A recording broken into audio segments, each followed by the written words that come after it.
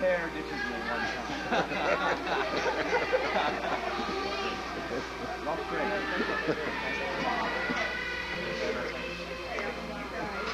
Steve, no whispering. What? No whispering. You don't like it? We're an open cast. Keep whispering. I'm not. No, the camera has it. I never whisper.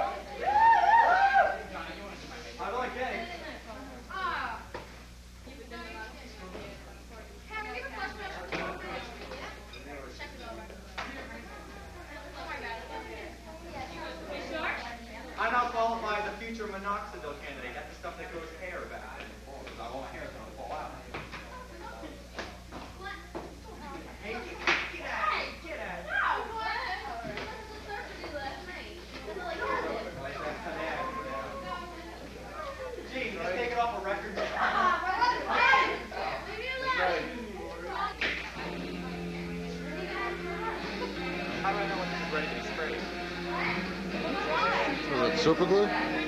What is it, super glue?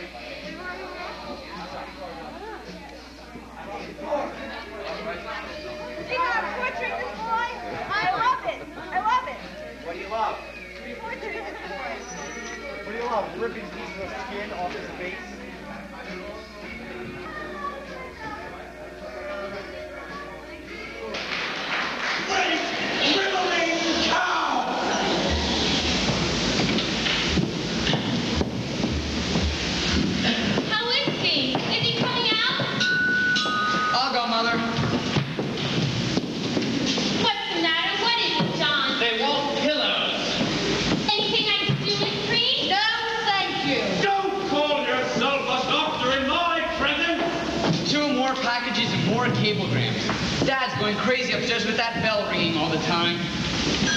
Oh dear, June, will you get that? What did you say, Richard? One's from New York and one from San Francisco. There was something from Alaska early this morning. Doesn't that bird brain of yours ever work? I'll get them right Yes. away. That's right. He wants some Players Club cigarettes. Players Club? They have them down at Kitchener's. I'll run down and get them. Club?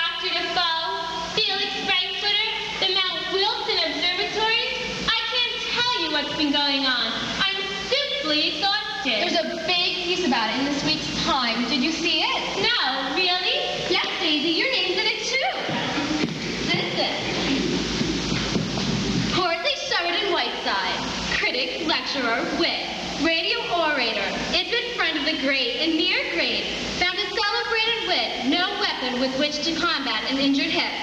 Mr. Whiteside trekking across the country on one of his annual lecture tours met his Waterloo in the shape of a small piece of ice on the doorstep of Mr. and Mrs. Ernest W. Stanley of Mesalia, Ohio.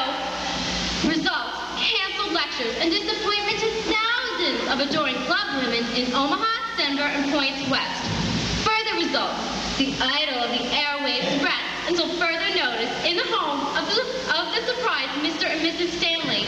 Possibility. Christmas may be postponed this year. What's that supposed to mean?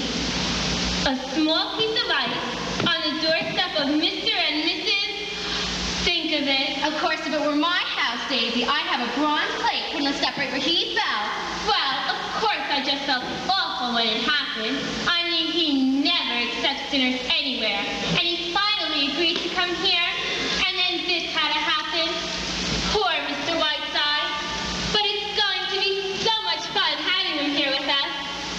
for a little while. Just think of it. We'll sit around in the evenings and discuss books and plays and all the famous people he's known. And he'll talk to us in that wonderful way of his. He may even read Goodbye, Mr. Chips to us. Daisy! I can't wait any longer. If Mr. Whiteside... Ah, good morning, ladies. Good morning.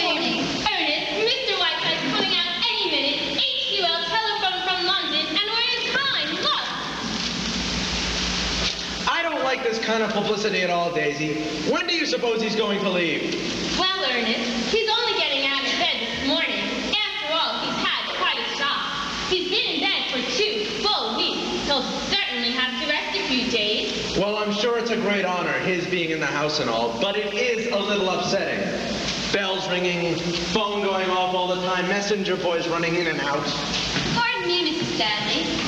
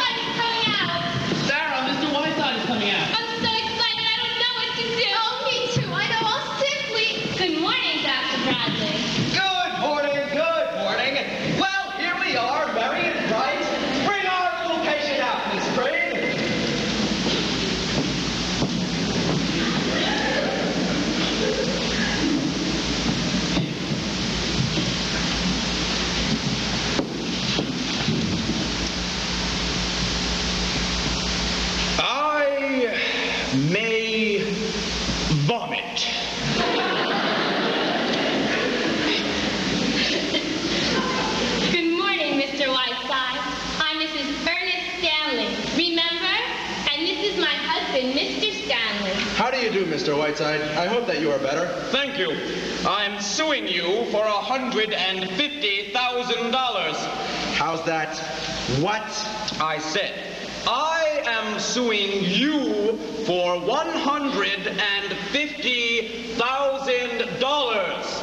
You mean because you fell on our stairs, Mr. Whiteside? Samuel J. Leibowitz will explain it to you in court. Who are those two harpies standing over there like the kiss of death? Dear, been showing! Made from your own foot, I have no doubt. And now, Miss Stanley, I have a few small matters to take up with you. Since this corner druggist at my elbow tells me I shall be confined to this moldy mortuary for at least another ten days, due entirely to your stupidity and negligence, I shall have to carry on my activities as best I can. I shall require the exclusive use of this room as well as that drafty sewer which you call the library. I want no one to come in or out while I am in this room. What do you mean, sir? We have to use the stairs to get to our bedrooms. Isn't there a back entrance? Why, yes. Then use that. I shall also require a room for my secretary, Miss Cutler. Now, let me see. Ah, yes. I will have a great many incoming and outgoing phone calls, so please do not use the phone. I sleep until noon and must have quiet through the house until that hour. There will be five before lunch today. Where is the cook? Mr. Whiteside, if I may interrupt for a moment. You may not. sir. Will you take your clammy hands off of my chair? You have the touch of a sex-starved cobra. And now, if all of you will please leave quietly, or must I ask my secretary to pass among you with a baseball bat? Well, we'll see you, Daisy. We'll call. Uh, we must call. Uh, goodbye. Now see here, Mr. Whiteside. There is nothing more to discuss, sir.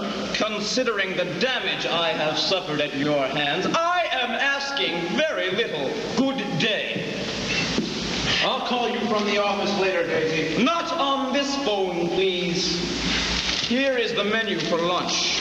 But I've already ordered lunch. It will be sent upstairs to you on a tray. I am using the dining room for my luncheon guests. Now, where are my cigarettes? Why, my son went for them.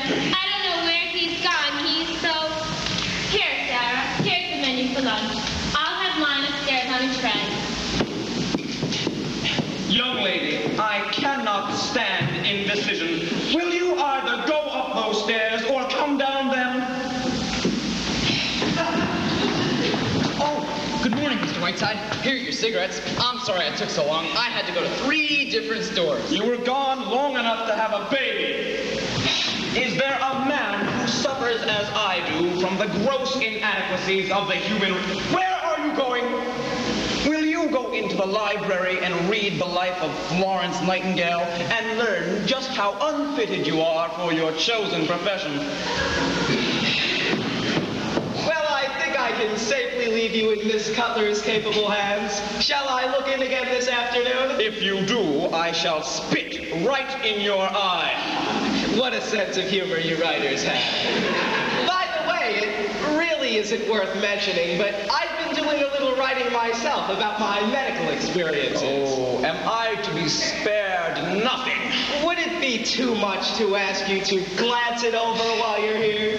Trapped? Well, I just happen to have a copy right with me. Tales of a Humble Practitioner, or 40 Years an Ohio Doctor. I shall uh, drop everything. Thank you, and I hope you like it. Well, see you on the morrow. Keep that hip quiet and don't forget those little bills. Goodbye. Oh, Maggie, will you take uh, 40 navel or whatever it's called? Well, I must say, you have certainly behaved with all your accustomed grace and shown... Now, look here, Puss. I am in no mood to discuss my behavior, good or bad. I had no desire to cross this cheerless threshold. I was hounded and badgered into it. Now, after two weeks of racking pain, I find myself accused of behaving without charm. Well, what would you have me do? Kiss them? Very well. I should have known better than to do anything about your manners. But when I finally retire from this job, I may write a book about it all. Through the years with Prince Charming. Listen, Repulsive, you are tied to me with an umbilical cord made of piano wire. And now, if we may dismiss the subject of my charm, for which, incidentally, I receive $1,500 per personal appearance, possibly we can get down to work. Ah, no, we can't.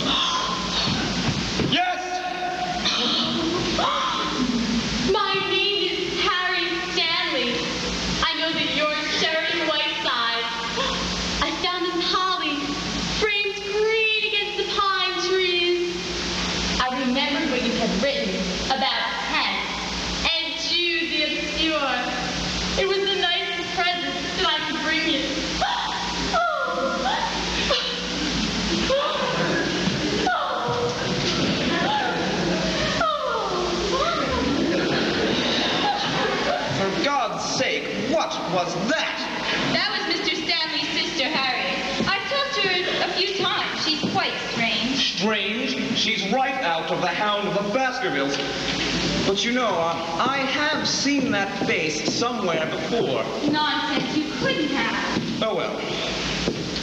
Let's get down to work, shall we? Here, uh, press this in the doctor's book. Now, I see no reason why I should endorse Maidenform brassieres. Here are some telegrams. What date are these? December 10th. Send a wire to Columbia Broadcasting.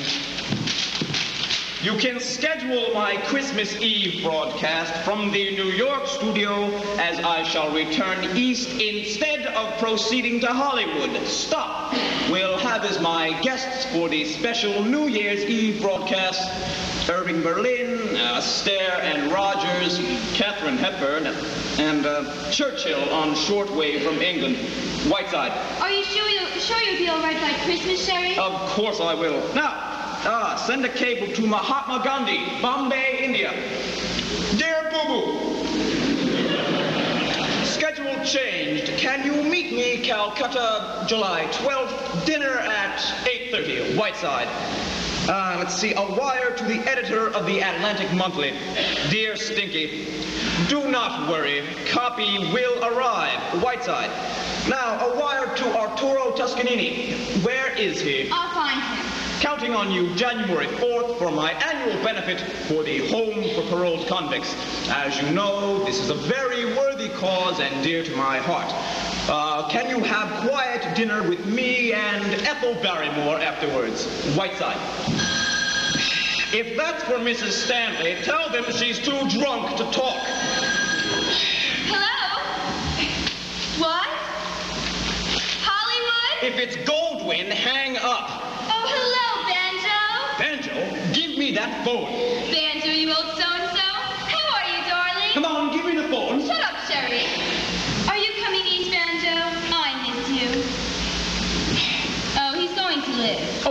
Dribbling and give me the phone. In fact, he's screaming at me right now. Here he is. How are you, you fawns behind? And what are you giving me for Christmas this year? How are you, Banjo? How's the picture coming? Good, good, wonderful. How are Wacko and Sloppo? Fine. No, no, I'm all right. Yes, I have the best horse doctor in town. But what about you? Are you having any fun? Good. Are you playing any cribbage? What's that? Well, don't take all of his money. Leave some for me. Well, Banjo, I can't waste my time talking to Hollywood riffraff. Yes, that's right. Well, kiss Louella Parsons for me, will you? Goodbye. He took $1,400 from Sam Goldwyn at cribbage last night. Sam said to him, Banjo, I shall never play garbage with you again. What do you want now, Miss Bedpan? It's your pills. One every 45 minutes.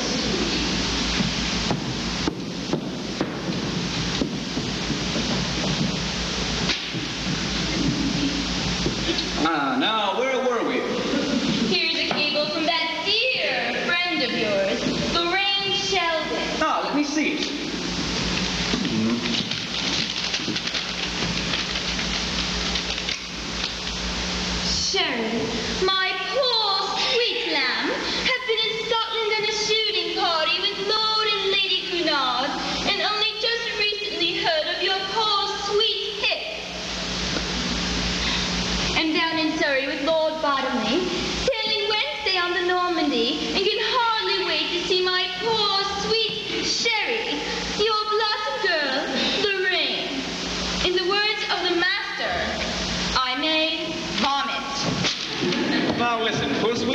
be bitter because Lorraine is more beautiful than you are. Lorraine Sheldon is a very fair example of that small but vicious circle you move in. Pure sex jealousy if I ever saw it. Now, let's have the rest of those, hmm? Lorraine Sheldon, Lord Bottomley, my Aunt Fanny. Ah, this one is from Destiny's Tot. Oh, England's little rover boy. Yes. Dear Baby's Breath. What's this I hear about some hip fractured in a bordello brawl? Does this mean our annual Christmas party is off? Just finished the play in Pago Pago and it's superb. Myself and a ukulele leave Honolulu tomorrow in that order. By the way, the Sultan of Zanzibar wants to meet Ginger Rogers. Let's face it, Beverly. He does travel a lot, doesn't he? You know, it would be nice if the world went around a change. Yes, it's Hollywood next week. Say, why couldn't he stop over here on his way to New York? Send him a cable. Beverly Carlton, uh, Royal Hawaiian Hotel, Honolulu. If these people intend to have their friends using the front door, What do you want them to do? Use a rope ladder? I will not have a lot of mildewed pus bags rushing in and out of this house while I am here. Good morning, Mr. Jefferson. Good morning, John. Go away! There's no one home. The Stanleys have been arrested for white slavery. Good morning, Mr. Whiteside. I'm Jefferson of the Mesalia Journal. Get rid of him. I'm sorry. Mr. Whiteside is seeing no one. Really? So will you please excuse us? Good day. Mr. Whiteside seems to be sitting up and taking notice. I'm afraid he is not taking notice of the Mesalia Journal. Do you mind? You know, if I'm going to be insulted, I'd like it to be by Mr. Whiteside himself. I never did like carbon copies. Ooh, touche if I ever heard one. And in Mesalia too, Maggie dear. Will you please leave? How about an interview, Mr. Whiteside? I never give them. Go away. Mr. Whiteside, if I don't get this interview, I lose my job. Well, that would be quite all right with me. Now you don't mean that, Mr. Whiteside. You used to be a newspaper man yourself. You know what editors are like.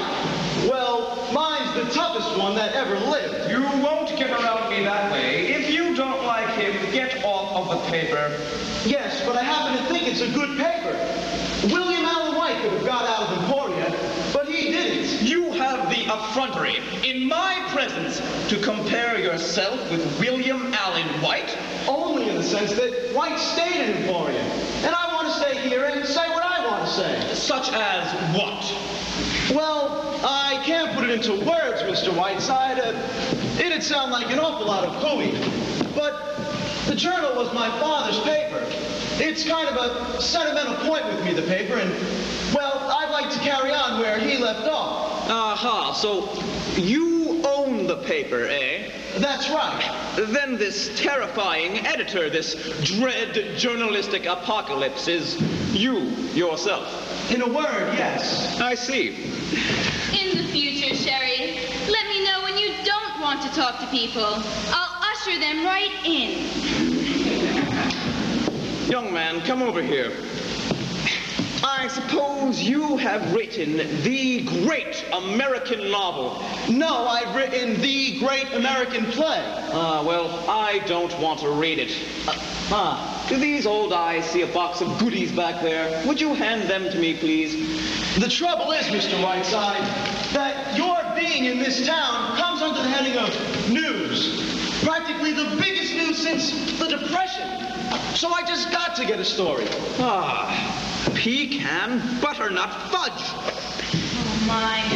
You mustn't eat candy, Mr. Whiteside. It's very bad for you? My great Aunt Jennifer ate a box of candy every day of her life. She lived to be 102, and when she was dead for three days, she looked better than you do now. now, you were saying, old boy, you were about to say something. At least I can report to my readers that uh, chivalry is not yet dead. We, uh, we won't discuss it. Well, now that you have won me with your pretty ways, what would you like to know? Well, uh, how about a brief report on famous murders? You're an authority on murder as a fine art. My dear boy, when I talk about murder, I get paid for it. I have made more money off of the Snyder Gray case than the lawyers did, so don't expect to get it for nothing. Well then, uh, what do you think of Mesalia? How long are you going to be here? Where are you going? Things like that. Very well. A. Mesalia is a town of irresistible charm. B. I cannot wait to get out of it. C. From here I go to Crockfield for my semi-annual visit to the Crockfield Home for Paroled Convicts, for which, over the past five years, I have raised one half million dollars. Have uh, you ever been to Crockfield, Jefferson? No, I haven't. I always meant to. As a newspaper man, you ought to go instead of wasting your time here with me. It is only about 75 miles from here. Will you sign this, please? This aging debutante, Mr. Jefferson, I retain in my employ only because she is the sole support of her two-headed brother. Uh, I understand. Well, thank you very much, Mr. Whiteside. Uh, you've been very kind. By the way, I'm a cribbage player if you need one while you're here. Fine. How much can you afford to lose? I usually win. We won't discuss it. Come back around 8.30. We'll uh, play three-handed with Lizzie Borden here.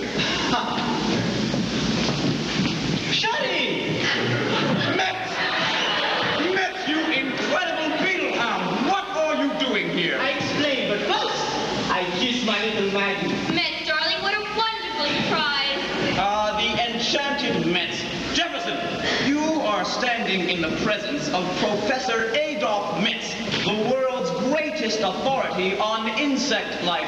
How do you do? How do you do? How do you do? Well, Shady? Oh, Metz, stop looking at me adoringly and tell me why you are here.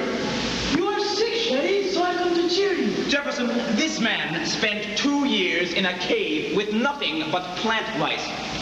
He rates three pages in the Encyclopedia Britannica. Don't you, my little hookworm? Please, Sherry, you embarrass me. Look. I brought you a present to validate the hours. I said to my students, boys and girls, I wish to give a present to my sick friend, Sheridan Whiteside. So you know what D made for you. D made for you a community of Periplaneta Americana, commonly known cockroach. Behold, Sherry, Roach City. Inside here are 10,000 cockroaches. 10,000? Oh, Sarah will never believe this. And in one dictionary, if all goes well, there'll be 50,000. If all goes well, what can go wrong? They're in there, aren't they? Quiet, please. You can watch them, Sherry, while they live out their whole lives. Look, there's the maternity hospital. Isn't it fascinating? They do everything that human beings do. Well, Please, Maggie. These are my cockroaches. sorry. Go ahead, Metz. With these earphones, Sherry, you can listen to their mating calls. There's tiny microphones down inside. Listen. Well, how long has this been going on?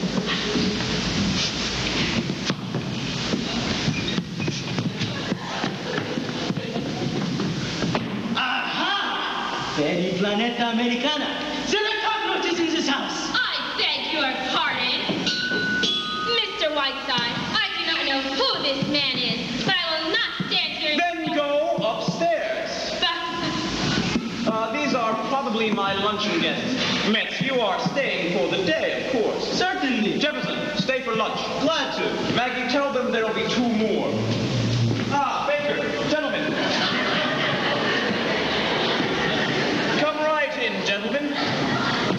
Jefferson, these men, now serving the final months of their prison terms, have chosen to enter the ivy-covered walls of Crockfield Home for paroled convicts.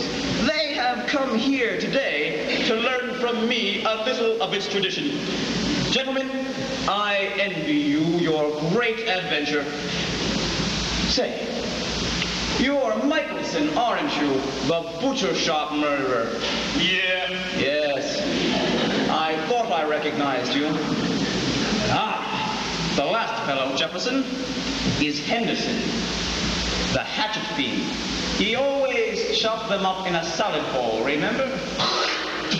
Oh, yes. Lunch is ready, Mr. Whiteside. Good, gentlemen, let's go right in.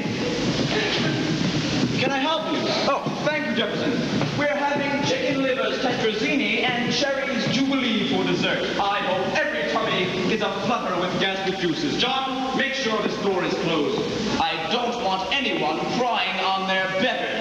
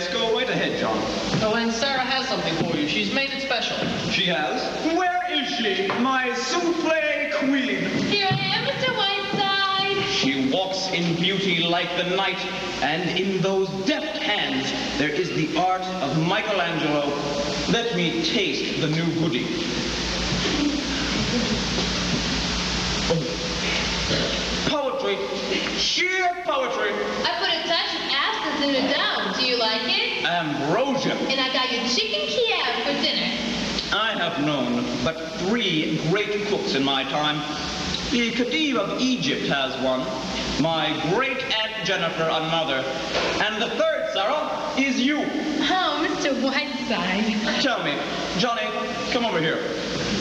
How would you two like to come to New York and work for me? Why, Mr. Whiteside. Sarah. Why, you kind of takes my breath away. Yes, it would be wonderful, Mr. Whiteside, but what will we say to Mr. and Mrs. Stanley? Uh, just goodbye. But, but they'd be awfully mad, wouldn't they? They've been very kind to us. Well, I'll tell you what.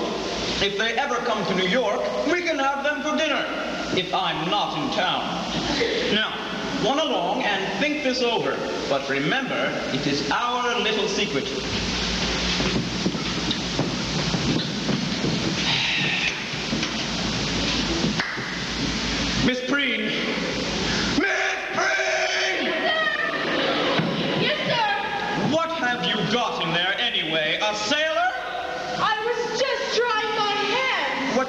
Miss Cutler go out? a couple hours ago. Uh, Mr. Jefferson called for her? Yes, sir. All right. All right, go back to your sex life, will you?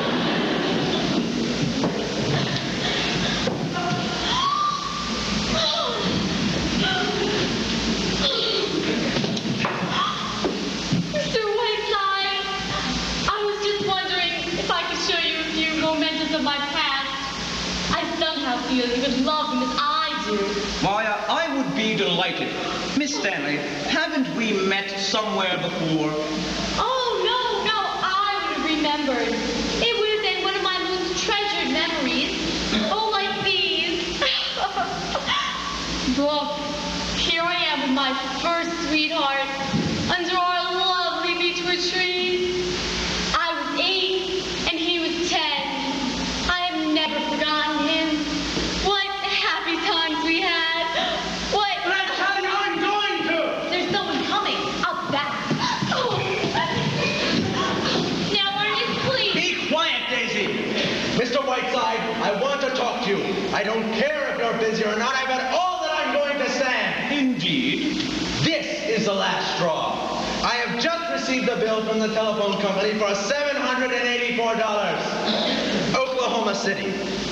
Calcutta, Hollywood, Australia, Rome, New York, New York, New York, New York. Now I realize, Mr. Whiteside, that you're a distinguished man of letters. Yes, of course, we both do. Please. But in the past week, we've not been able to call our souls our own. We've not had a meal in the dining room once. I have to tiptoe out of my house in the morning. Now, Ernest. Oh. I come home and find convicts sitting at my dinner table. Butcher shot murderers.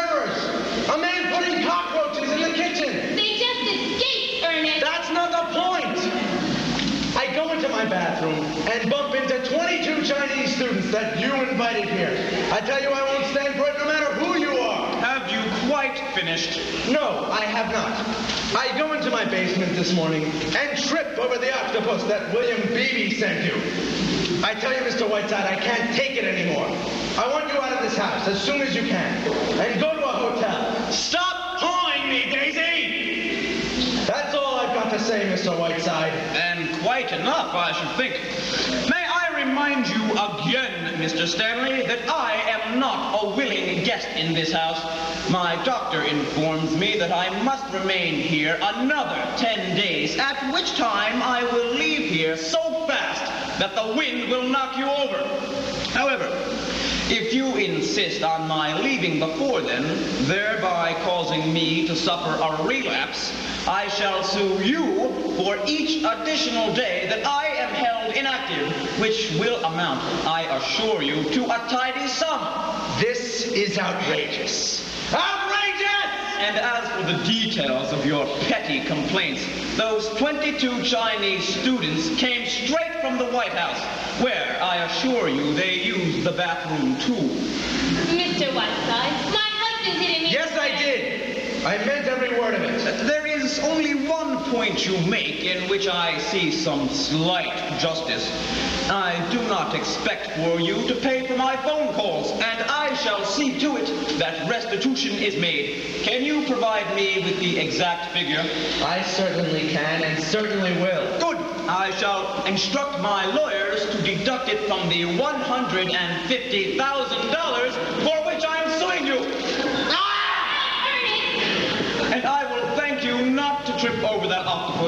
Once belonged to Chauncey Depew.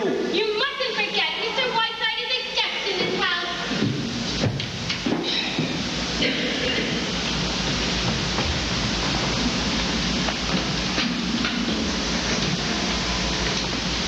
Yes, hello, operator. Could you give me the Mesalia Journal, please? No, I don't know the number. Uh, hello, Journal. Is Mr. Bert Jefferson there? He isn't? Well, when do you expect him in? No, no message.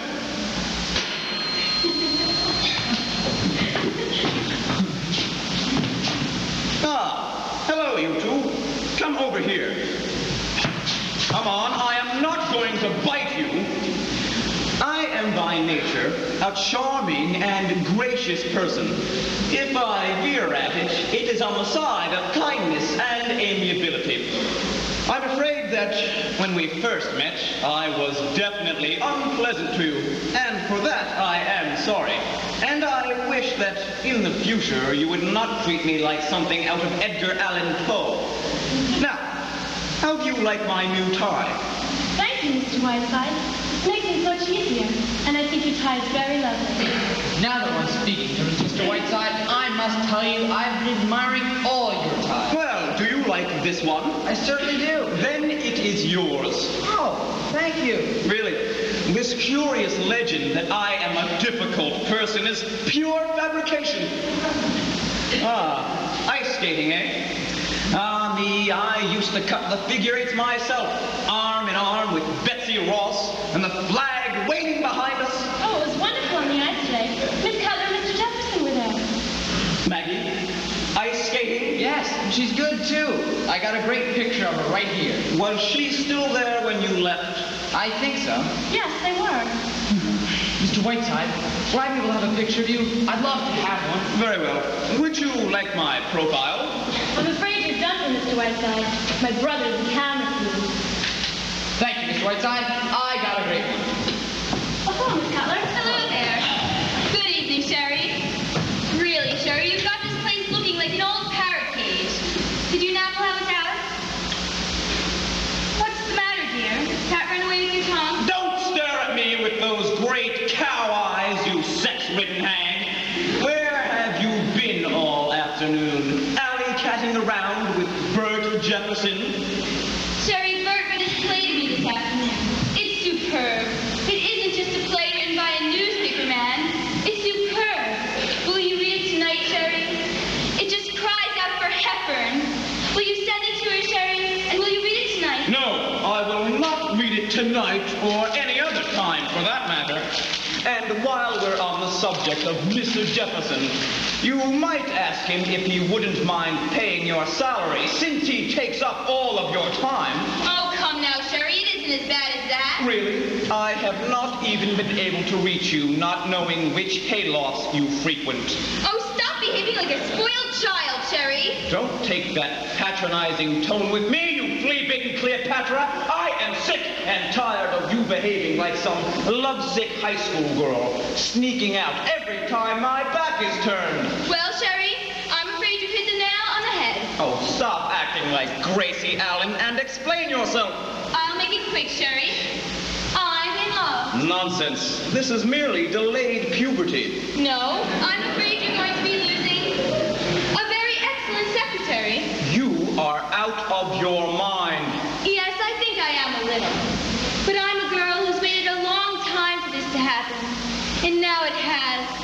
Mr. Jefferson doesn't know it yet, but I'm going to do my darndest to marry him. Is that all? Yes. Except that this is what might be called my resignation.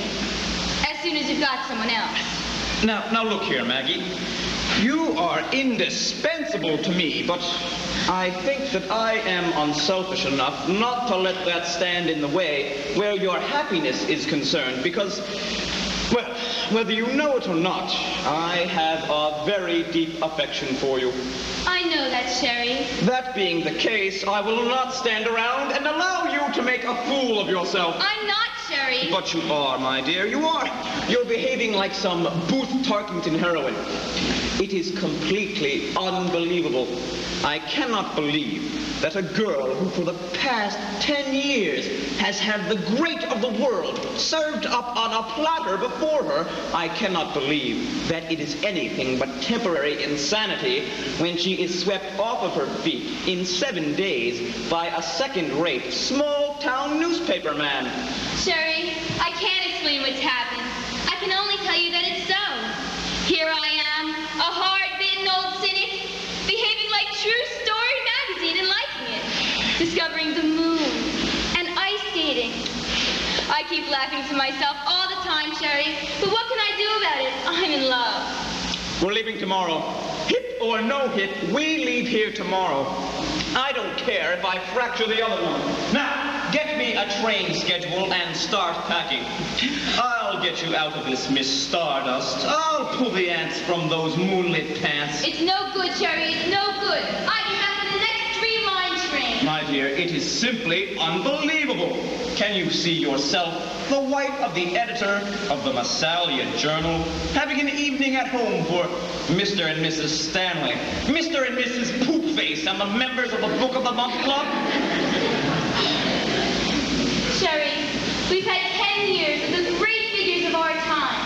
And don't think that I'm not grateful to you for them. They've been wonderful years, Sherry. Gay and stimulating. Why, I don't think anyone has ever had the fun we've had, Sherry. But a girl can't laugh all the time. There comes a time when she wants Sherry. He's gentle, and he's unassuming. And well, I love him, that's all. I see. Well, I remain completely unconvinced. You are drugging yourself into this Joan Crawford fantasy, and before you become completely anesthetized, I shall do everything in my power to bring you to your senses. Now you listen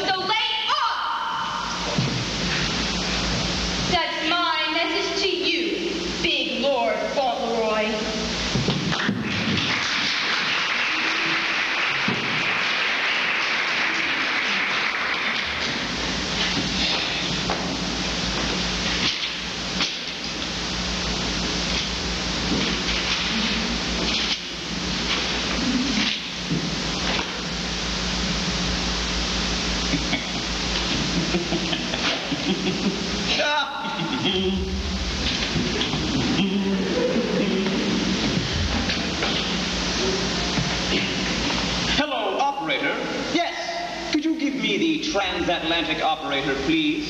Thank you. Hello, transatlantic. Yes, I would like to make a transatlantic phone call. Uh, this is Mesalia 132. Yes. I want to speak to a Miss Lorraine Sheldon. S H E L D O N. Yes, she's on the Normandy. It sailed from Southampton the, uh, the day before yesterday. Right, will this take long? Yes, the name is Whiteside. Thank you.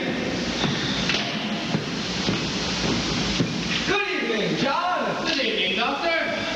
Well, well, good evening, Mr. Whiteside. Go away, Doctor. I am terribly busy.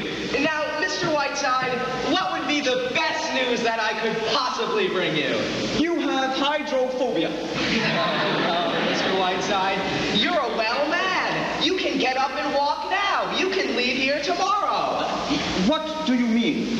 Well, I took a look at those x-rays again this afternoon, and do you know what? I have been looking at the wrong x-rays. I've been looking at old Mrs. Moffat's x-rays.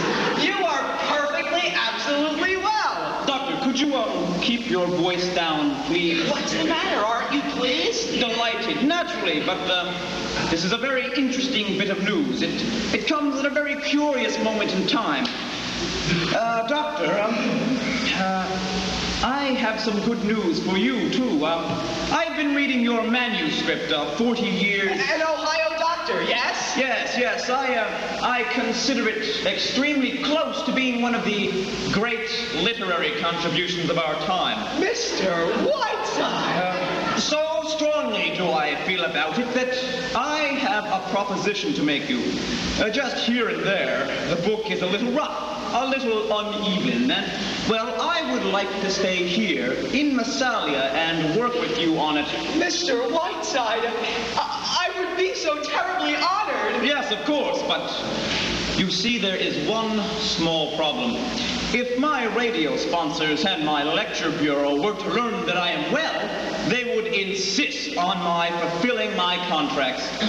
Therefore, we must not tell anyone, not anyone at all, that I am well. I see, I see. Not even Miss Cutler.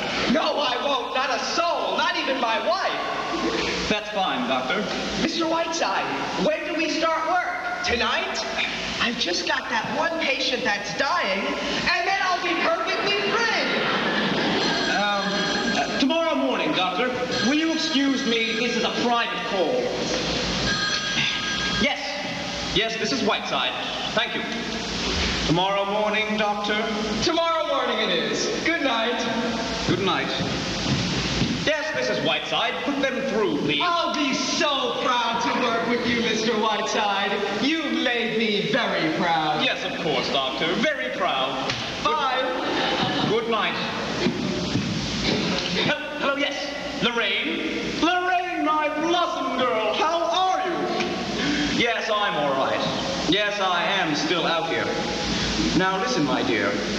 When do you land in New York? Tuesday? Well, that's fine. Now listen closely, my pet. I have a wonderful bit of news for you. Yes, I have discovered a wonderful play with an enchanting part in it for you. Hepburn would give her eye teeth to play it, but um, I think I can get it for you. No, wait, wait, let me explain. The author is a young newspaperman here in town. That's right.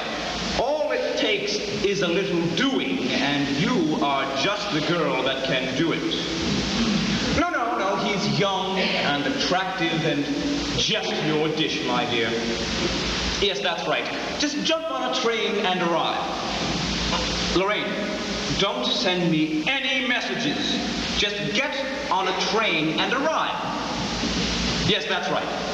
Oh, there is no need to thank me, Lorraine. Yes. Well, have a nice trip and we'll see you soon. Goodbye.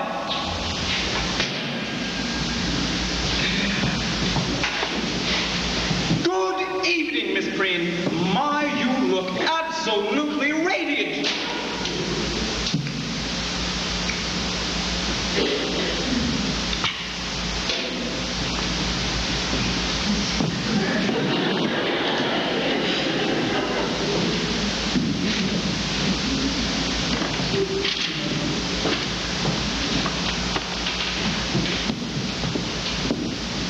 Sherry, I'm sorry for what I said before.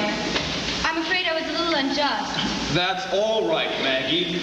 We all lose our tempers from time to time. I'm supposed to have dinner with Bert and then go to a movie. But we'll come back and play cribbage with you instead. Oh, that's fine. See you soon, Cherry dear. Goodbye. Goodbye. Oh, I was just a little rabbit in the sunshine. I'm just a little rabbit. I'm looking on my legs. Anyone gets so many presents. I can wait to see what's in them. Yes, Miss Buck, Miss, Miss Cutler. Why don't Mr. Whiteside open it?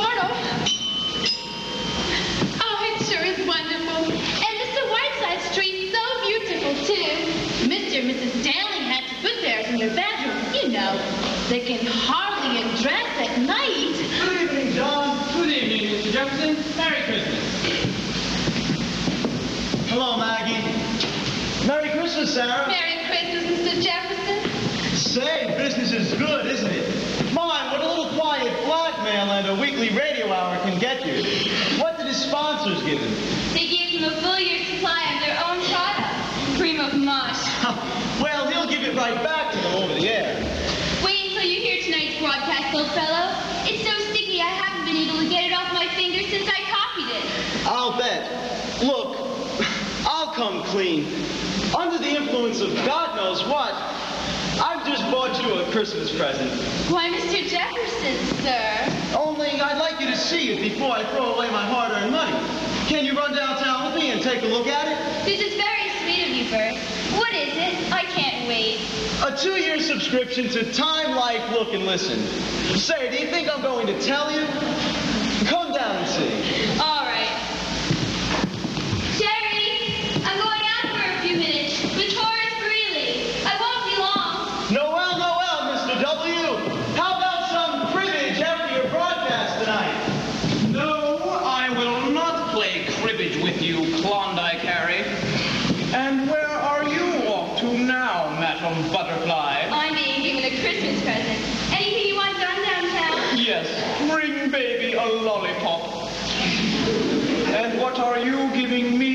Christmas, Mr. Jefferson, I have enriched your feeble life beyond your capacity to repay me. Yes, that's what I figured. So I'm not giving you anything. I see. Well, I was giving you my old trust, but now I shan't.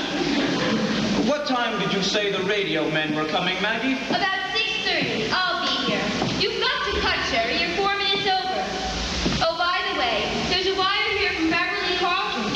He doesn't know what train he can get out of Chicago, but he should be here sometime this evening. Good. Is he staying overnight? No, he's got to get right out again. He's sailing Friday on the Queen Mary. Think I could peek in at the window and get a look at him? Beverly Carlton used to be one of my heroes. Used to be, you ink-stained hack. Beverly Carlton is the greatest single talent in the English theater today. Take this illiterate numbskull out of my sight, Maggie, and don't bring him back. Yes, Mr. Whiteside, sir. I won't come back until Beverly Carlton gets here. Where are we going, Bert? I want to know what you've bought me. I'm like a 10-year-old kid. you know, you look like a 10-year-old kid right now, Maggie, at that.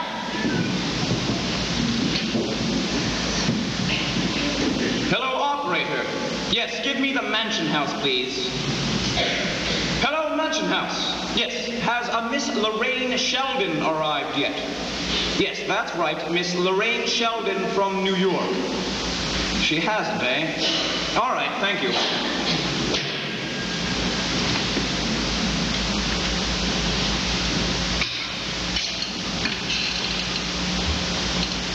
What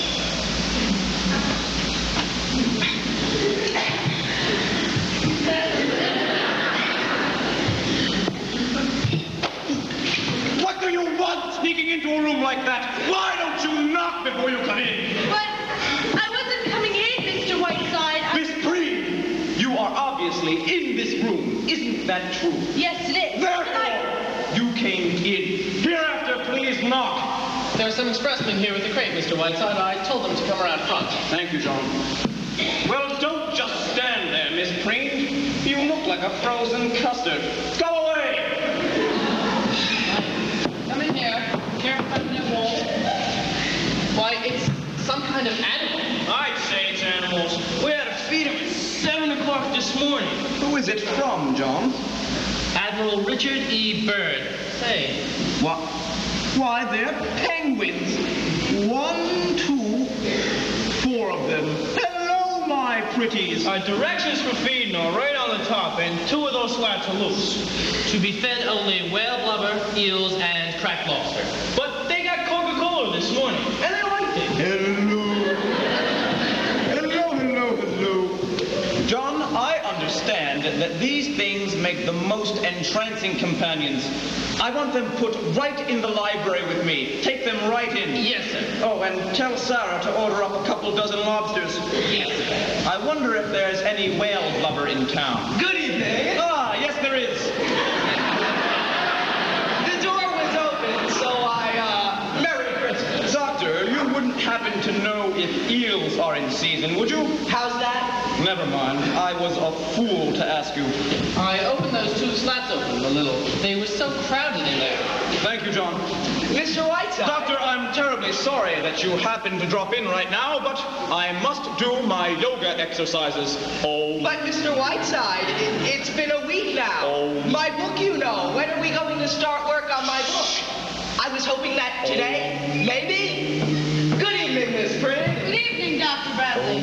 Mr. Whiteside, we'll just have to get. Dr. Bradley, perhaps I'm not well, but oh, when I opened the door just now, I thought I saw a penguin with a thermometer in his mouth. what's this? Have those penguins gotten out of the crate? Penguins? Did you say penguins? Yes. Doctor, will you go in and capture the penguins, please? There are four of them. Capture the penguins, yes. And Miss Preen, will you go in and uh, go in and entertain them, will you, until I come in? Uh, yes, sir.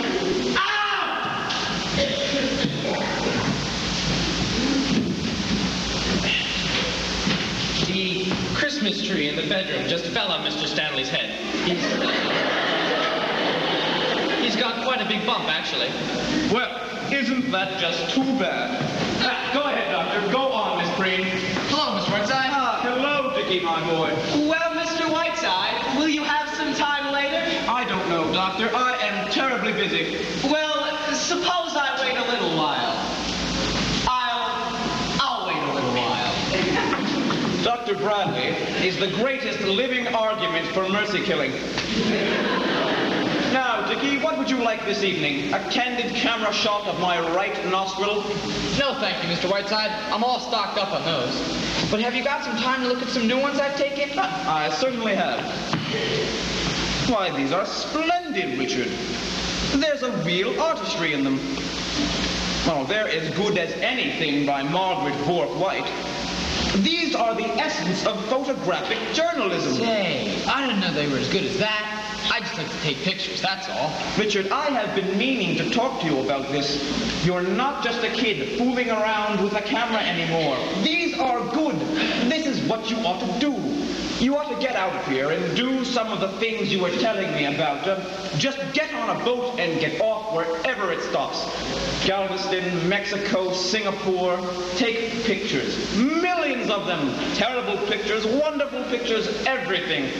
Say, wouldn't I like to, though? It's what I've been dreaming of for years. If I could do that, I'd be the happiest guy in the world. Well, why can't you do it? If I were your age, I'd be off like a shot. Well, you know why. Dad. Richard, do you really want to do this more than anything else in the world? I certainly do. Then do it! Hello, Dick. Good afternoon, Mr. Whiteside. Ah, hello, June, my lamb. Ah, Richard, I am afraid it is up to you. I guess it is. Thank you, Mr. Whiteside. You've been swell, and I'll never forget it. Righto, Richard. June, are you coming upstairs? Uh, in a few minutes, Richard. Knock on my door, will you? I have to speak to you. Yes, I will. Mr. Whiteside. June, my lamb, you were too young to know about the Elwell murder, weren't you? Completely fascinating. I have about five favorite murder cases, and the Elwell case is one of them. Would you like to hear about it? Well, Mr. Whiteside, I wanted to talk to you for a few minutes. Would you mind? It's kind of important. Certainly, my dear. I take it this is all about your young Lothario out at the factory. I can't seem to make Father understand. It's like talking to a blank wall. He won't meet him. He won't even talk about it. What are we going to do, Mr. Whiteside? Sandy and I love each other. We don't know where else to turn. My dear, I would like to meet this young man. I'd like to see him for myself. Would you, Mr. Whiteside? He's, he's in the kitchen now. I'll bring him in. Good, bring him right in. Whiteside, he's he's a very sensitive boy. You will be nice to him, won't you? God damn it, June! When will you learn that I am always kind and courteous? Now bring this idiot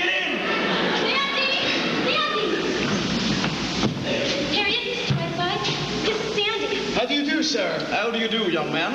I've heard an awful lot about you this past week from June.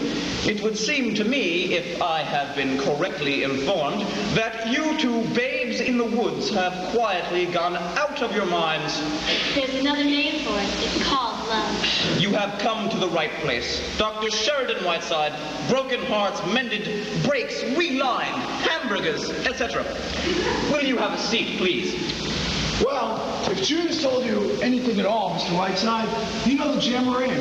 You see, I work for the labor union, Mr. Whiteside. I'm an organizer. And lately, I've been organizing the men down at Mr. Stanley's factory.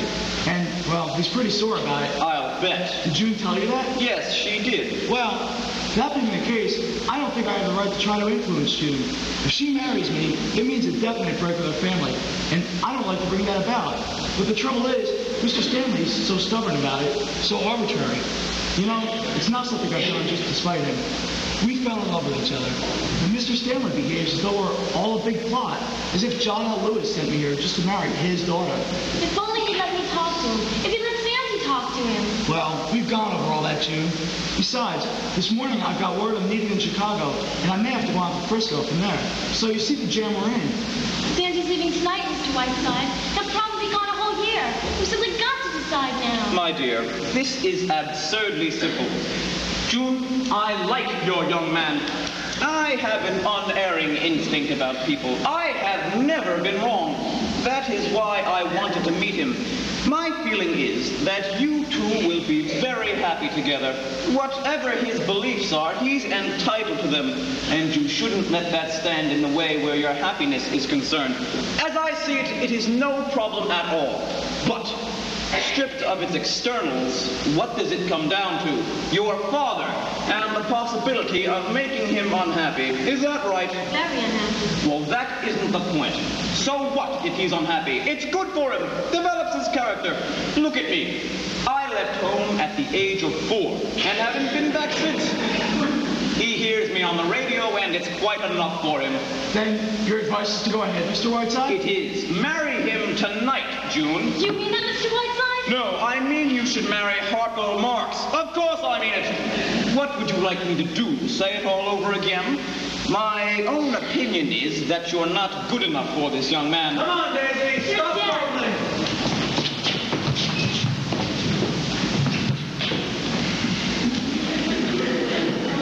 Forgive us for trespassing, Mr. Whiteside. Oh, not at all, old fellow, not at all. It's Christmas, you know. Merry Christmas. Yes, yes. Merry Christmas. June, would you like to come along with us? We're taking some presents to the Dexters. No, no, thank you, Mother. I have some letters to write. Come on, Daisy. Why, Mr. Stanley, what happened to your forehead? Did you have an accident? No, Mr. Whiteside. I'm taking boxing lessons. Go ahead, Daisy.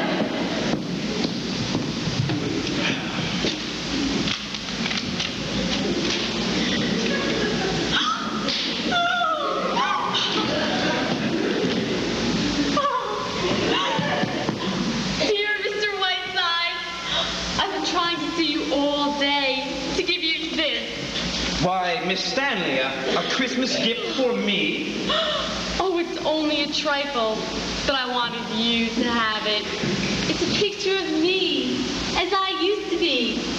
It was taken on another Christmas Eve, many years ago. Oh! oh. Don't open it until the stroke of midnight. Okay?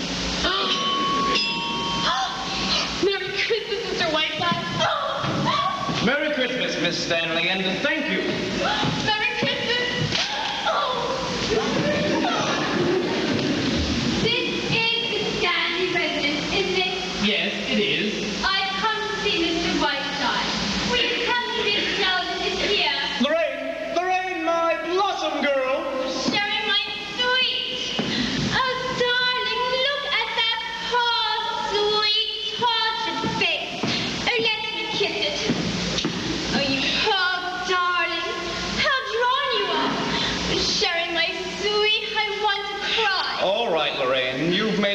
Very nice entrance. Now relax. hmm? But Sherry, darling, I've been so worried. Oh, and now, seeing you in that chair. My dear, this chair fits my fanny as nothing else ever has. I feel fine. My only concern is news of the outside world. So, take off that skunk and tell me everything.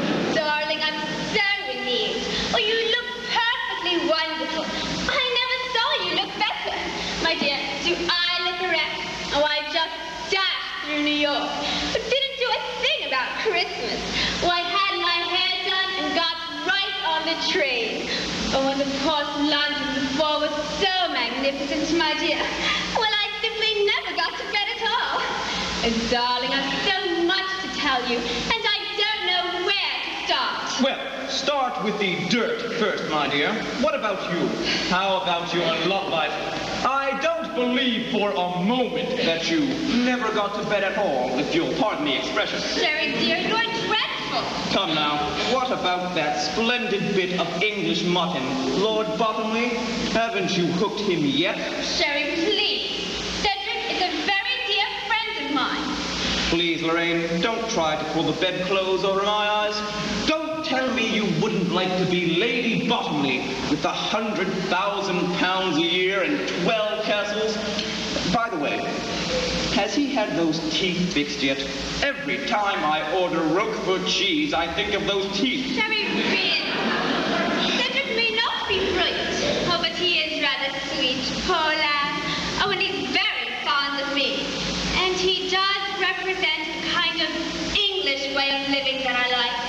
With Surrey entered London for the season, shooting boxes scarlet. Oh, that lovely old Catherine Well. Oh, shall I tell you something, Sherry? I think, from something he said just before I sailed, oh, that he's finally coming around to it. Oh, it wasn't definite, mind you, but uh, don't be surprised if I am Lady Bottomley before very long. Lady Bottomley? Well, won't Kansas City be surprised? I shall be a bridesmaid and give the groom an iron toothpick as a wedding present. Now, let's have some more of your skullduggery. Well, I... Mr. Whiteside. Not now! Who was that? Oh, uh, he's fixing the plumbing. Now, come ahead, dear, some more news. But Sherry, what about this plan? After all, I've come all the way from New York. How is it on Christmas Eve? I've been so excited ever since your phone call. Oh, where is it? When can I read it? All right, here is the situation.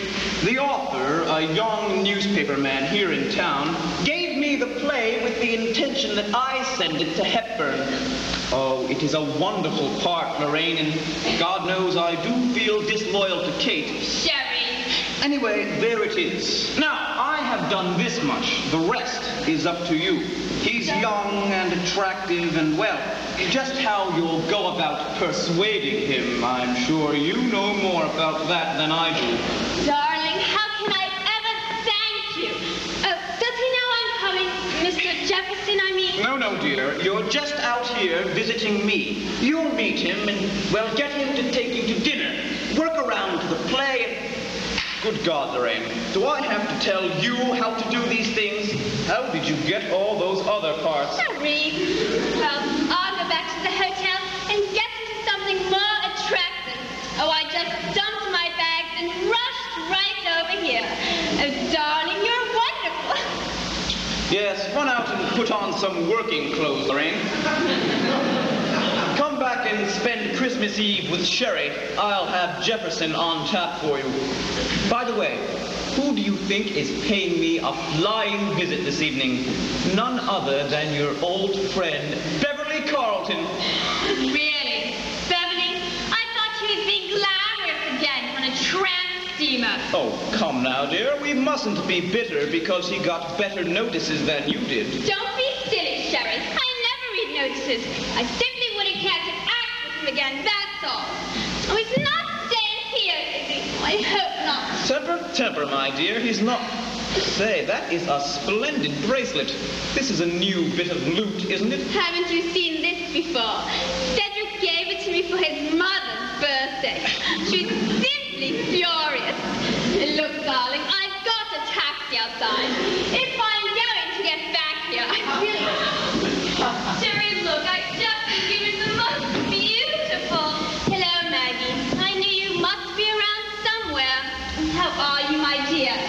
Santa has been at work, my pet. Blossom Girl just dropped in out of the blue and uh, surprised us. Hello, Lorraine. And who is that? Is that Bert?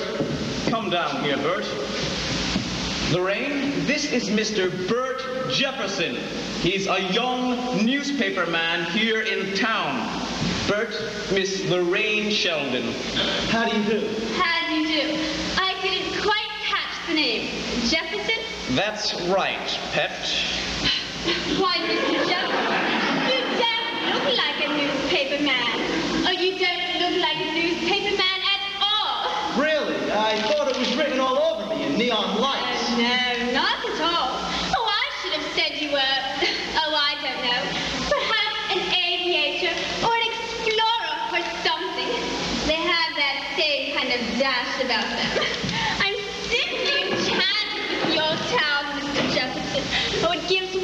Such a warm, gracious feeling.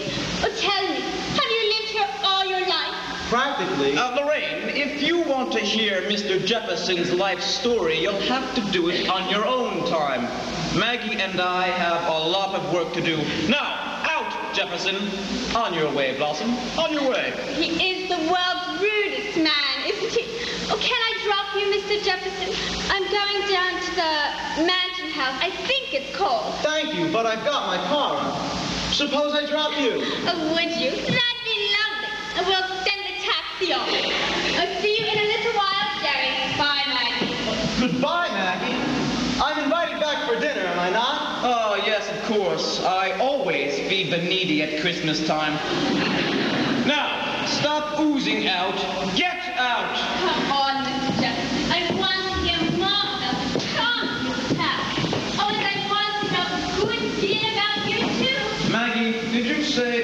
Copy of the broadcast here. How much time did they want out? Four minutes? That's right.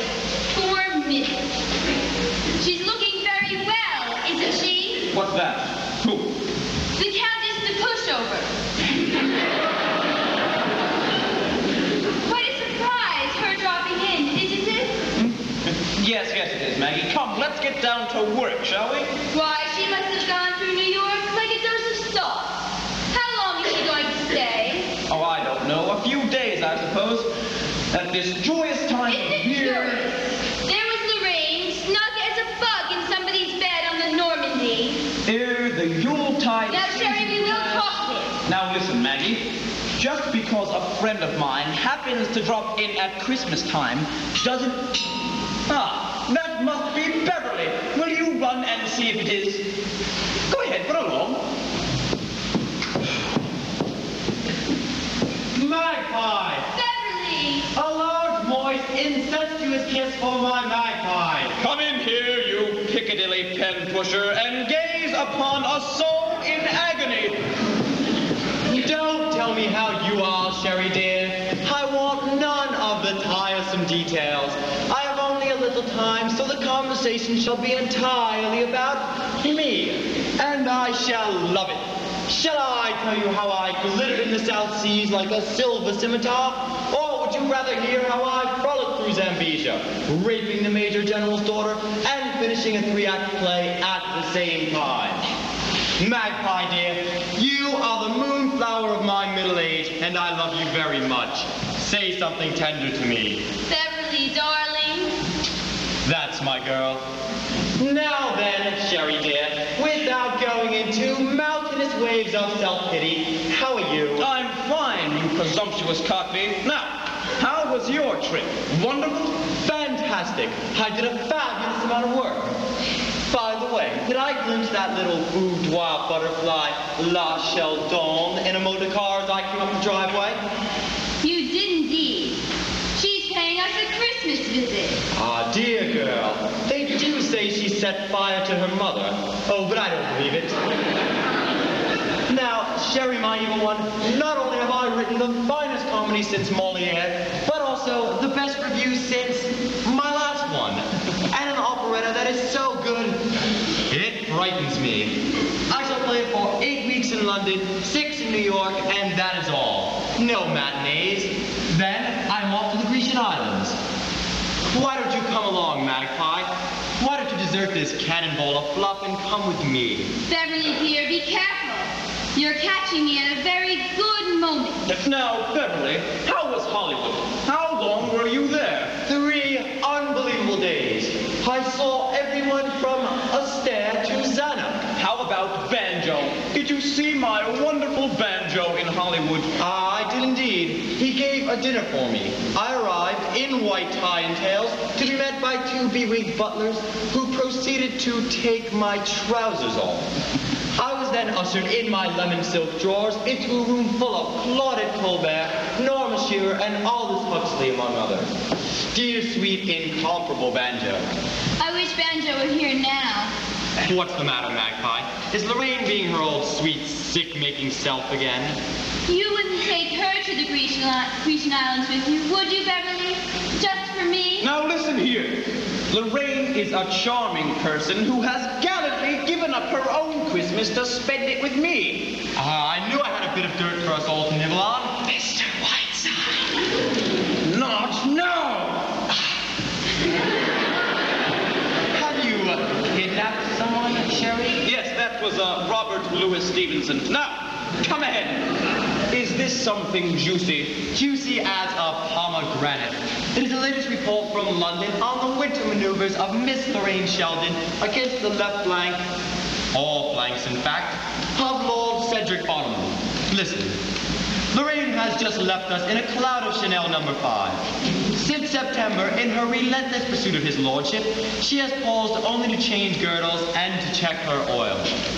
She has chased him, panting, from castle to castle until he finally took refuge for several weekends in the gentleman's laboratory of the House of Lords. She is sailing tomorrow on the Normandy, but would return by the Atlantic Clipper if Bottomley so much as belches in her direction. Have you ever met Lord Bottomley, Magpie? No, I haven't. No, b- b- b- very good shooting today, Boston. Only four partridges, s- s- six grouse, and the, Duke of Sutherland. Haw, haw, haw. My God, that is Bottomley to his very bottom. You're making it up, Beverly. No one sounds like that. It is so good it's uncanny. Oh, damn it, Beverly. Why must you race right out of here? I never see enough of you, you ungrateful moppet. I can only tell you, Sherry dear, that my love for you is so great that I'd change trains in Chicago just to come here and spend 10 minutes with you and wish you a Merry Christmas. Merry Christmas, my lad, my magpie. Beverly. Damn it, Maggie, will you get rid of him, please? Hello? Oh, hello, Bert. Well, just a minute. Beverly, would you talk to a newspaper man for just two minutes before you go? I kind of promised you. Won't have time, magpie, unless it's under that piano.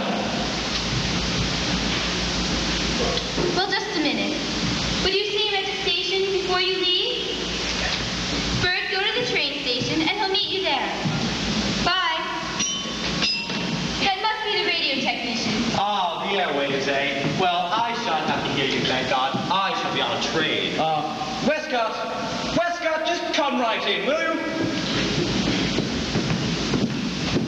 Miss Westcott, will you go in that room? John, please show them where to plug in. Right this way, please.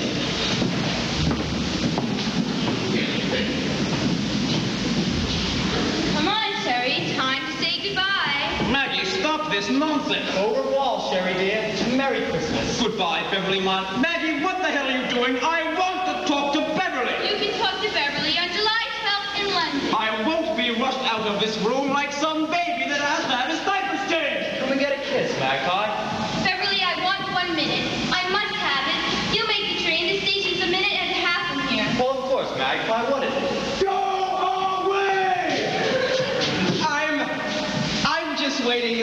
in until Mr. Excuse me. Who is that man? Never mind. Beverly, I'm in great trouble. What's the matter, magpie? I've fallen in love. No. Yes, for the first time, Beverly, I've fallen in love. I can't tell you about it now. There isn't time. But Sherry is trying to break it up. And in, and in his own fiendish way, he's going to do everything he can to break it up. Why, the old flounder. What's he doing? Lorraine. He's brought Lorraine here to smash everything up. You mean it's someone here in this town? Yes, the newspaper man you're going to meet at the station. And he's written a news he's written a play. And I know he must be using that as bait. You know Lorraine. She'll eat him alive. You've got to help me, Beverly. You've got to get Lorraine out of here. The further away the better. But how can I? I'm leaving. Have you carved from the broadcast, Miss Cutler? Yes, there's one on that table. Thank you. One of those penguins ate the original. Here's what I want you to do. Why, I love it. I absolutely love it. It's simply enchanting and vintage Sherry and Lorraine at the same time. I adore it, and I shall do it up around. The first baby will be named Beverly. You're wonderful. Of course I am. Come to Chiswick on your honeymoon, and I shall put you up. Well, goodbye, Magpie.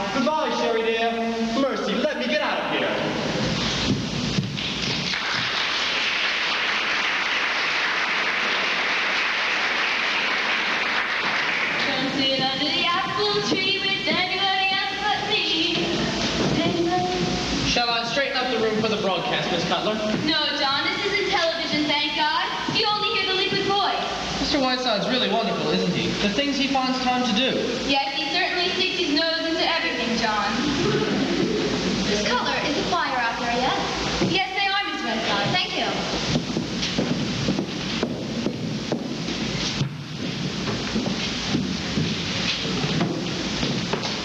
Why, Miss June, are you going away? Why, no, John, no. Miss Whiteside is in there, I suppose. Oh, yes, he's getting ready to go on the radio. Oh, would you... Oh, no, never mind. Where is he? In the library? He's busy. Oh, well, maybe we ought to wait till in the kitchen.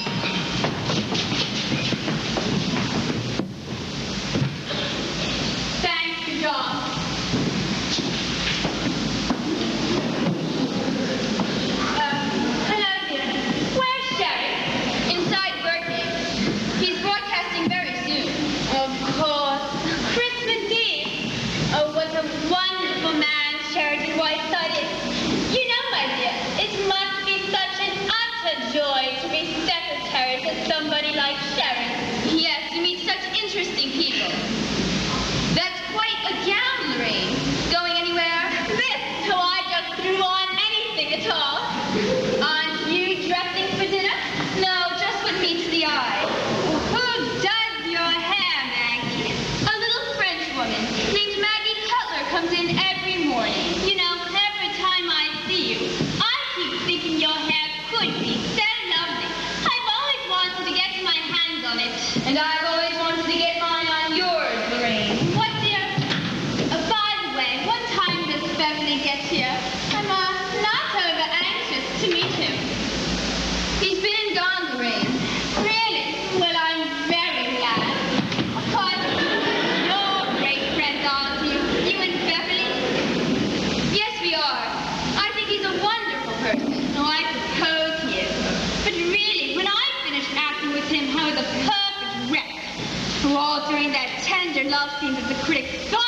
so magnificent.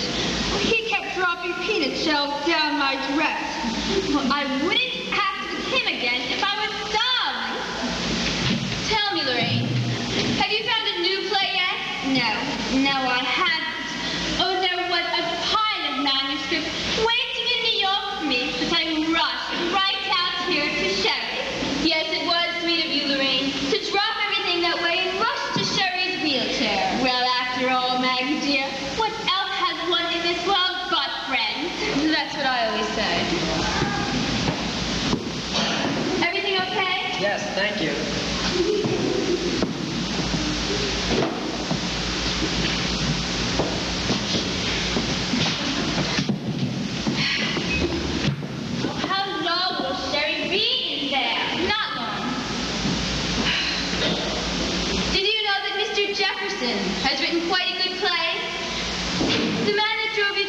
cow.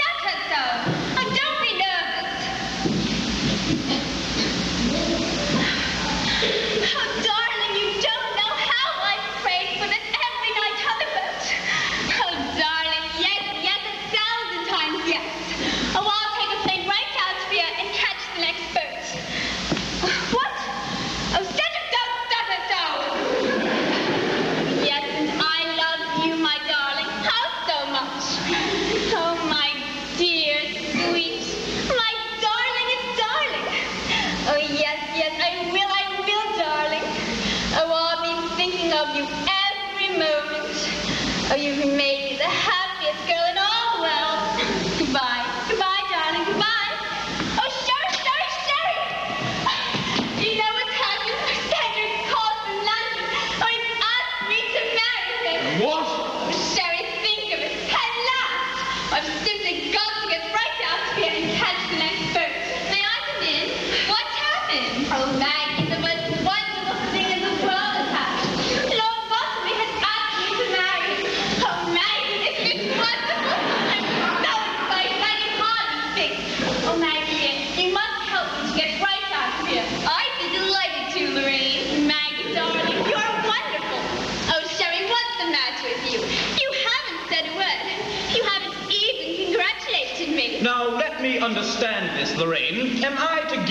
from your girlish squeals that you are about to toss your entire career into the ash can? Sherry, you couldn't expect.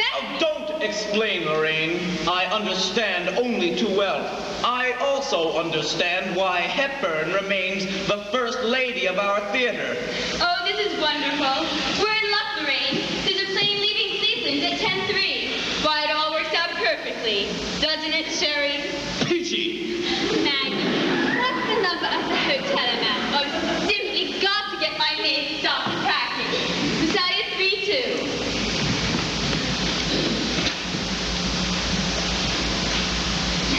Mesalia 3-2, please.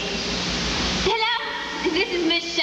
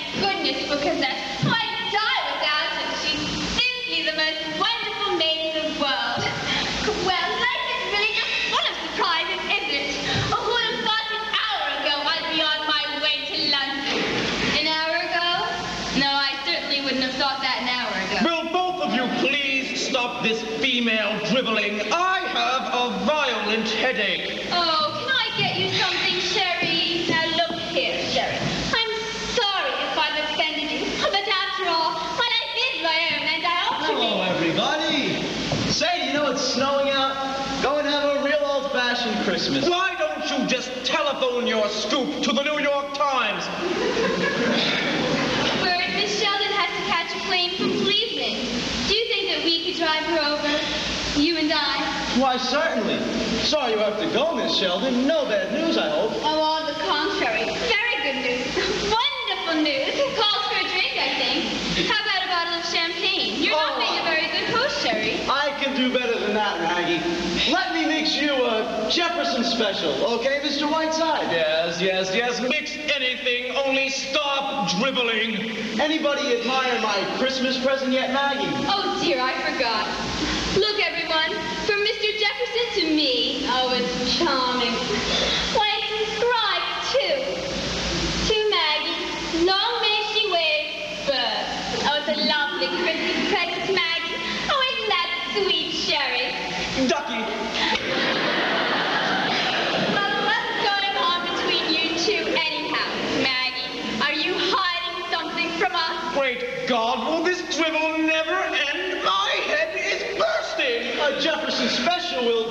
anything. By the way, Mr. Whiteside, I got a two-minute interview with Beverly Carlton at the station.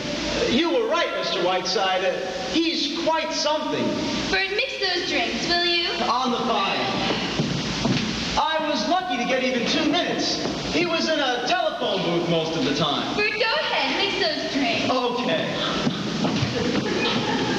I couldn't hear what he was saying, from the faces he was making, it looked like a scene from one of his plays. Uh, just a moment, Mr. Jefferson. You say that Beverly Carlton was in a phone booth at the station? Certainly was. I thought he'd never come out. Kept talking and making the damnedest faces for about five minutes. Ah, uh, yes. Mr. Jefferson, go ahead. Make me a Jefferson special. In fact, a double. My headache has gone with the wind. Okay. Sherlock Holmes is now at work.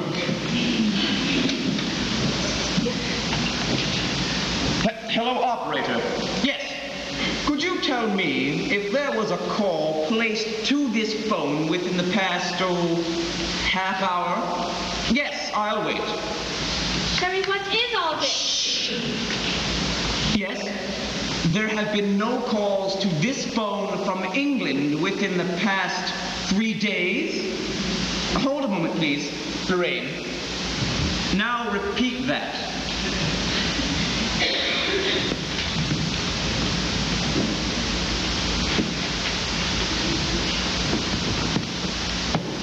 Yes, thank you, operator dear.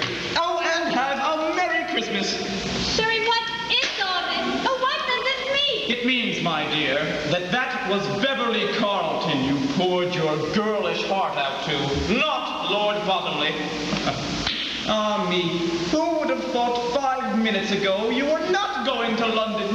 Sherry, I want this explained. Explained? Well, you heard the operator, my dear. All that I can tell you is that Beverly Carlton was indulging in one of his favorite this bit's of mimicry. You've heard him do Lord Bottomley before, haven't you? Yes, of course. But, but why would he want to do such a thing?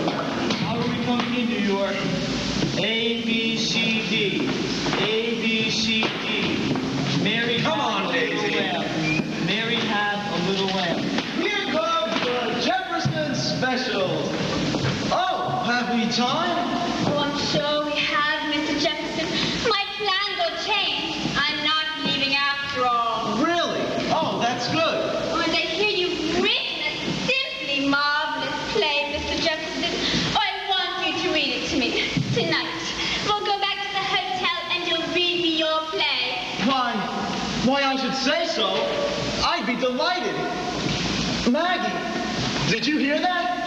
Say, I'll bet you did this. You arranged the whole thing. Well, it's the finest Christmas present you could have given me. Oh. Maggie. Maggie! 30 seconds. Waiting. Mr. Whiteside! Quiet, please. My son has run off on a freighter, and my daughter is marrying an anarchist. Quiet. They said you told them to do it. My poor Jim, my poor Richard. This Quiet. Oh, For God's sakes, be quiet. We're going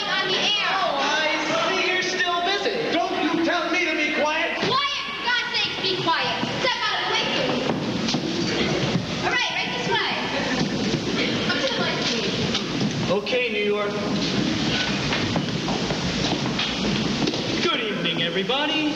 Cream of Mush brings you Sheridan Whiteside. This is Whiteside speaking.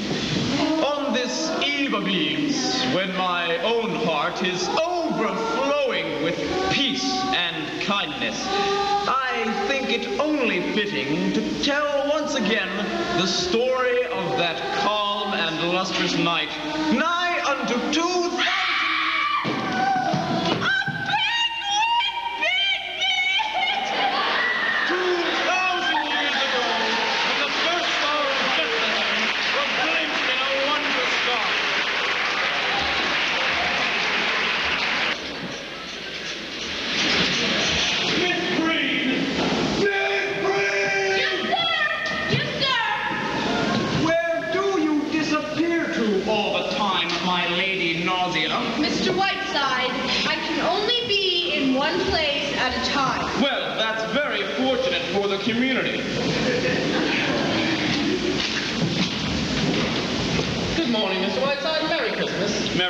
Christmas, John. Merry Christmas. Are you ready for your breakfast yet?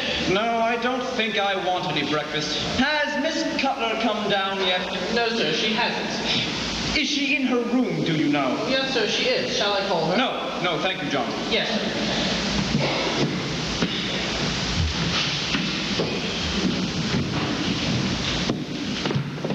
I'm taking the one o'clock train, Sherry. I'm leaving. You are doing nothing of the kind. Here are your keys, your driver's license, the key to the safe deposit vault, and the apartment in New York. I'll go in here now and clear things up. Uh, just a moment, dear.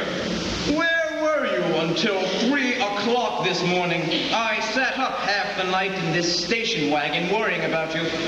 You heard me calling to you when you came in. Why didn't you answer me? Look, Sherry, it's over and you've won. I don't want to talk about it. Oh, come now, Maggie. What are you trying to do? Make me feel like a naughty boy. Honestly, Maggie, sometimes you can be very annoying. Know, you're quite wonderful, Sherry, in a way. You're annoyed. I wish there was a laugh left in me. Can I tell you something, Sherry? I think you are a selfish, petty egomaniac who would see his mother burned at the stake if that was the only way he could light his cigarette. I feel you'd sacrifice your best friend without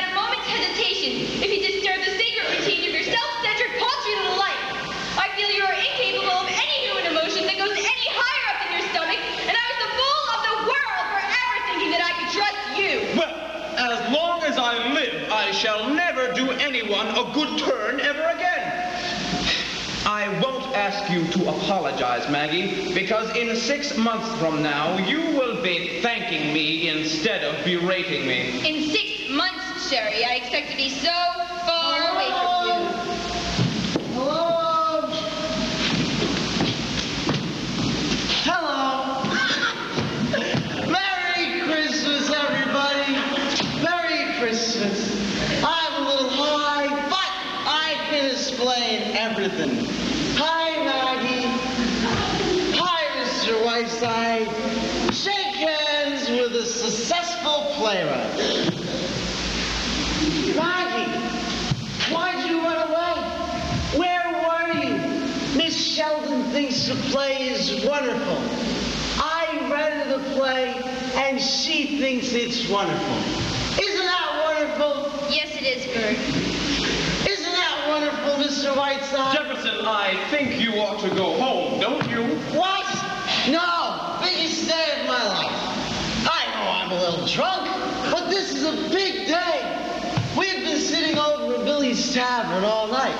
Never realized it was daylight until it was daylight. Listen, Maggie, Miss Sheldon says the play needs just a little bit of fixing. Do it in three weeks. She's going to take me to a little place she's got in Lake Placid just for three weeks. Going to work on the play together. Isn't that wonderful? Why don't you say something, Maggie? Look, Bert, I suggest you tell Oh, us about this. me.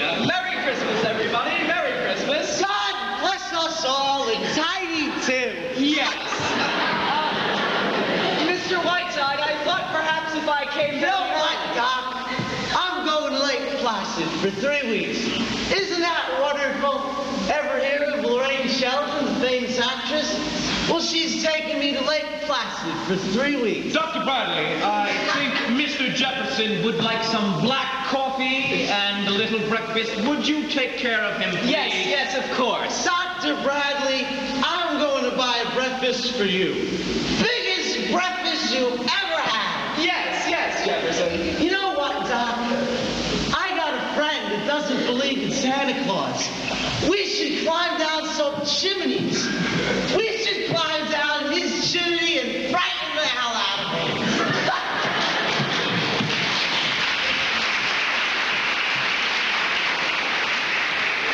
Now, look here, Maggie. I am willing to forgive your tawdry outburst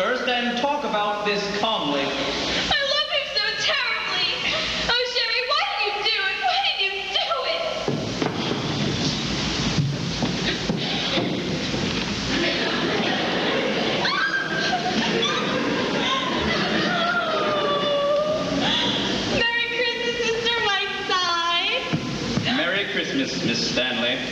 I'm afraid I shouldn't be seen talking to you. My brother would be terribly angry. I just couldn't resist asking. Did you like my Christmas present? I am terribly sorry, Miss Stanley. I haven't opened it yet. I haven't opened any of my Christmas presents yet. Oh, dear. And I was so anxious.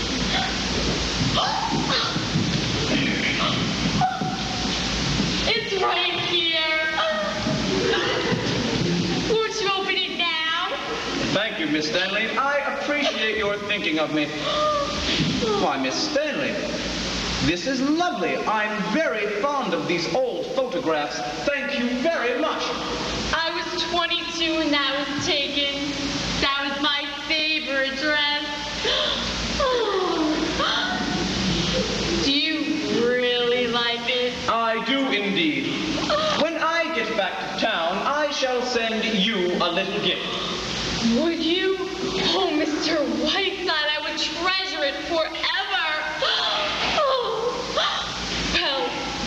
Be going. I will be late for church. Goodbye. Oh, goodbye. Goodbye, Miss Stanley. Oh, bye. Oh. What is it about that woman?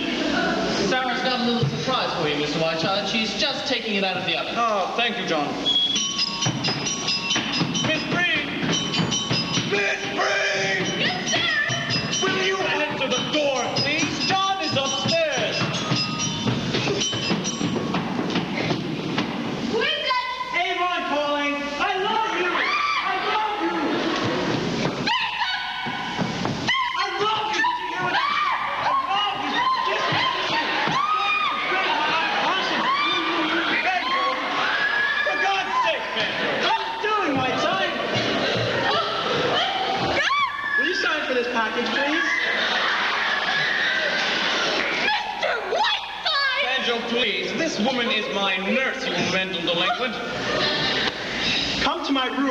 Half an hour and bring some rye bread. Really, Mr. Whiteside? How do you do?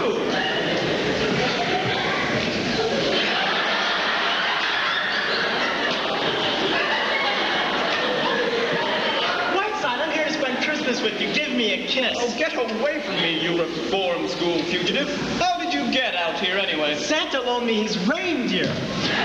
Whiteside, we finished shooting the picture yesterday, and I'm on my way to Nova Scotia. Flew here in 12 hours. Borrowed an airplane from Howard Hughes. Whiteside, I brought you a wonderful little Christmas present. This brassiere was once worn. West. Listen, you idiot.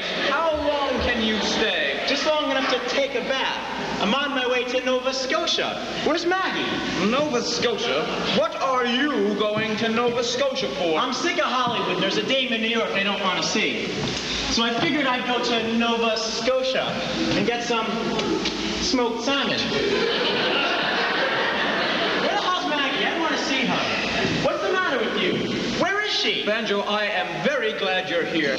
I'm very annoyed at Maggie. Very. I thought you couldn't walk. Oh, I've been all right for weeks. That isn't the point. Banjo, I am furious at Maggie. She's turned on me like a viper. You know how fond I am of her. Well, after all these years, she's repaying my affection by behaving like a fishwife. What are you talking about? But I never believed.